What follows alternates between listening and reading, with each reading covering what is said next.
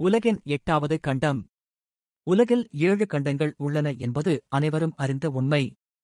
ஆனால் எட்டாவது ஒன்று கூட இருப்பதற்கான வாய்ப்புகள் உள்ளன என்பது உங்களுக்கு தெரியுமா?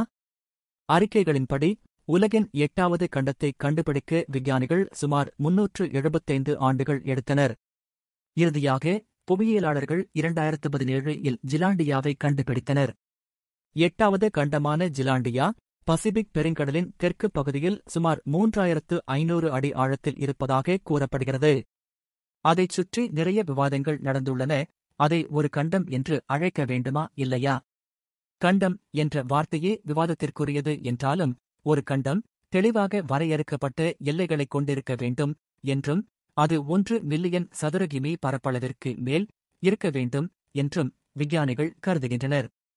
மேலும் வரையறையின்படி ஒரு கண்டம் கடலின் சுற்றியுள்ள மேலோட்டத்திற்கு மேலே உயர்த்தப்பட வேண்டும் மற்றும் கடல் மேலோட்டத்தை விட தடிமனான கண்ட மேலோடு இருக்க வேண்டும்.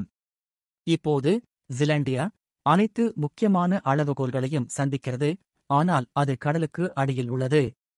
மேலும் மற்ற பிரச்சினை என்னவென்றால் இங்கிருந்து வரும் மிகப் பழமையான பாறை மற்றும் மேலோடு மாதிரிகள் சுமார் ஐநூறு மில்லியன் ஆண்டுகளுக்கு முந்தையவை. அதே சமயம் வெவ்வேறு கண்டங்களின் மேலோடு தோராயமாக ஒன்று பில்லியன் ஆண்டுகளுக்கு முந்தையது.